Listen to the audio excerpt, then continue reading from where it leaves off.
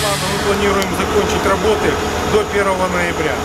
То есть сейчас мы приступили к демонтажу плит, потом будет уложено основание, сверху этого будут уложены новые большие дорожные плиты, здесь будет э, устройство тротуара. Э, общая стоимость проекта 18 миллионов гривен. Э, уверены, что этот ремонт будет закончен в сроки, и жители уже этой осенью смогут оценить все его достоинства.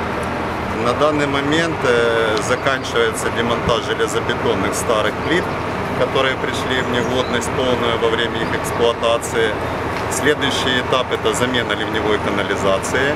Э, Внизу, частично вверху, устройство нового дорожного покрытия, устройство нового освещения, устройство тротуарных дорожек вместе с э, оцинкованными заборами ограждения, установка дорожных знаков,